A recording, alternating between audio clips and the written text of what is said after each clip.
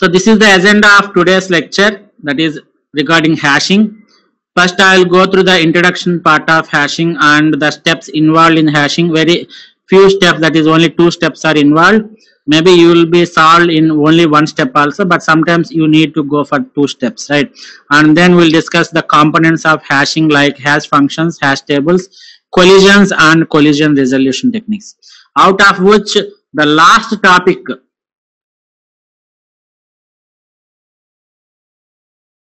out of which the last topic that is collision resolution techniques linear probing quadratic probing and separate chaining is very important and you get most of the questions in from this particular topic only. We get most of the questions from this particular topic only right? So coming to the introduction part of hashing we'll discuss what a hashing is right very important. You have got one you got one question from the previous examination also. Right. Direct question direct question. So hashing is a technique which is used for storing and retrieving information as quickly as possible. So whenever you use the concept of hashing you can store the elements and you can access those elements in a very quick fashion. Right the same concept you can see observe in the daily life whenever you stay in an apartment right?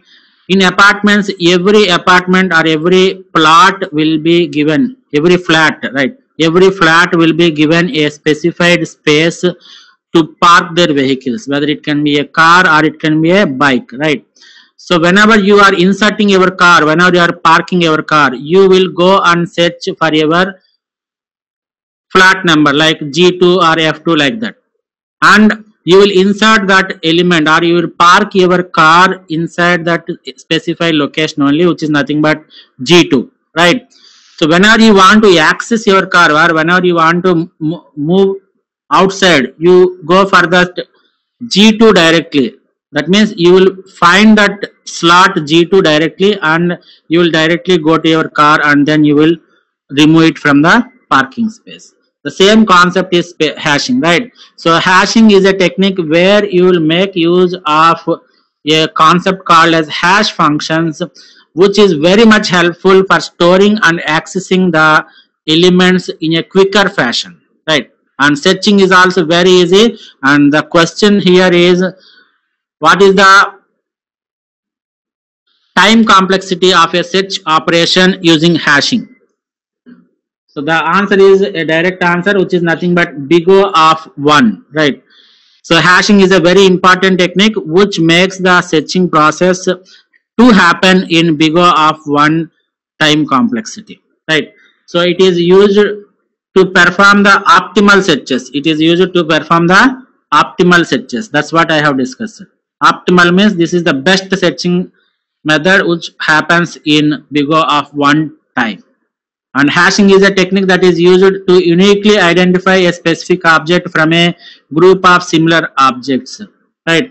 You have a lot of parking space in your apartment area but you can simply identify your car in a unique fashion by making use of this hashing technique. Similarly if you go for the student registration numbers in the universities every student will have different names that's accepted but whenever you enroll a course in the university university then you will be given a unique id which is called as student registration number. That is you are being identified uniquely from the same set of objects right?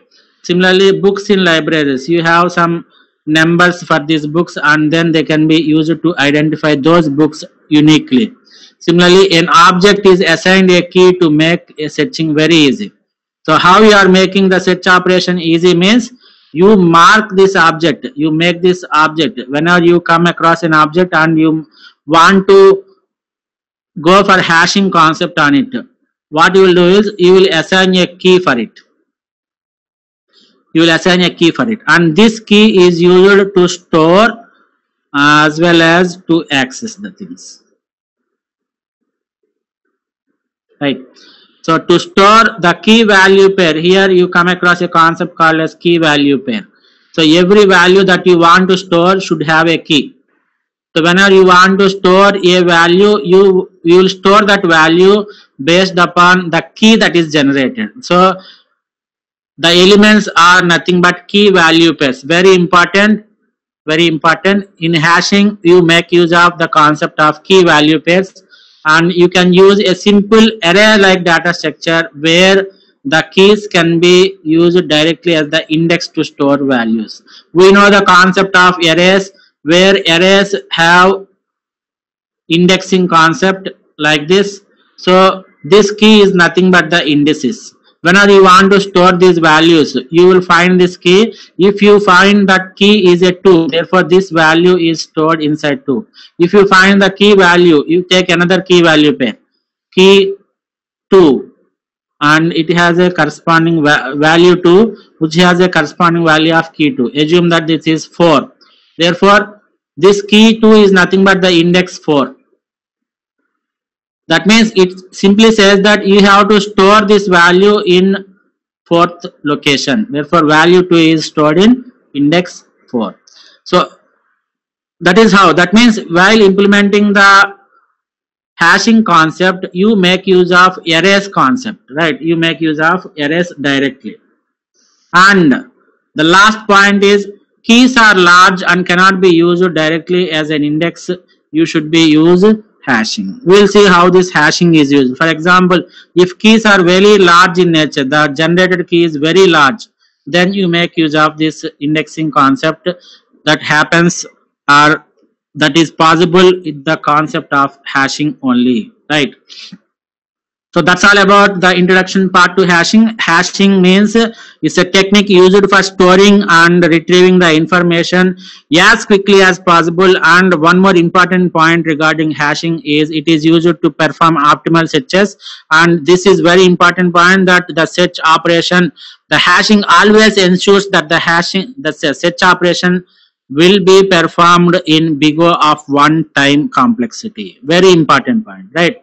One more time hashing ensures that the searches happen at big O of one time complexity. Very important right? And one more important point regarding this introduction part of hashing is in hashing you will make use of the concept called as key value pairs. And one more important point is you can make use of the array data structure and the indexing concept of arrays to make use of this hashing. After this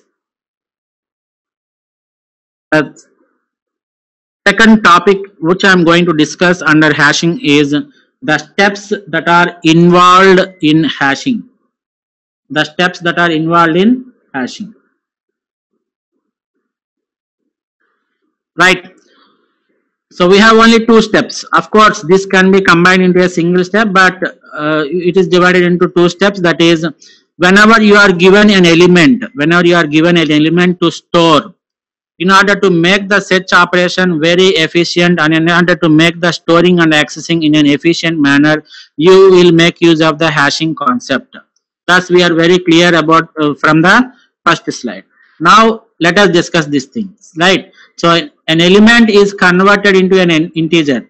There is no need or there is no thumb rule that you should always store integers inside the arrays. You can store the strings. You can store the single elements right? In such case what you have to do is you have to convert those strings or you have to convert those alphabets into the corresponding integer values. There are different types of converting those strings into the integer values where one of the method can be you can take the ASCII values of those alphabets in the strings and you can add it and you can get an integer value right? So after you after the element is converted into an integer by using a hash function the this integer value can be used to calculate the index which is used to store the original element. So indexing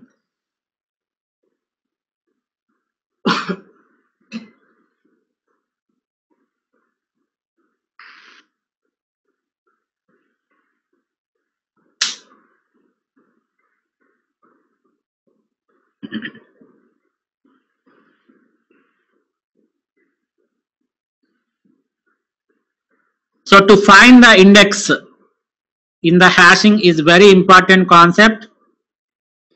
So whatever value you have, you have to pass that key or value into a hash function.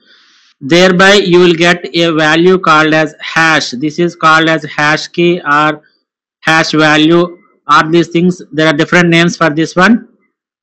So in the first step, the output will be to find the hash value. Our objective is to find the hash value. So what you will do, you will make use of a concept called as hash function. We'll discuss various hash functions where you can find the hash values.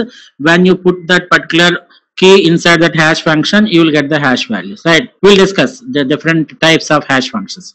So this particular step is very important. You have to find the hash value by making use of the hash function and the input to the hash function will be a key, right? After finding this hash function or hash value, not hash function, hash value, the step two is you have to find the index. You can observe that this hash value that is obtained is can be also can also be an index. But sometimes assume that you have declared an array. I told that array can be used for hashing. You have declared an array of size 10 Therefore, the index always starts with 0 and ends with 9, right? For example, the hash value that is obtained is something greater than 9. Within this 0 and 9 it can store, but the hash value that is obtained is greater than index value. In such case, what you have to do is you have to find the index by making use of this particular concept called as index is equal to hash value this is very important operator which is nothing but modulo division or remainder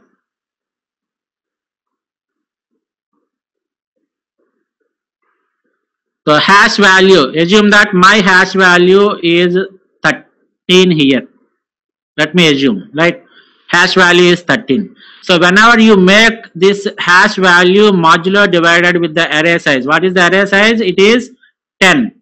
So let me try this. So index is equal to 13 modulo division array size 10 which is nothing but remainder remainder therefore the remainder is 3 therefore it lies in between this 3 lies in between 0 and 9 therefore it is valid so whenever you get the hash values greater than the index values of the array which you have declared. In such case, you have to go for one more step where you can calculate the index by using the formula index is equal to hash modulo division array size. I have given an example to clear the concepts.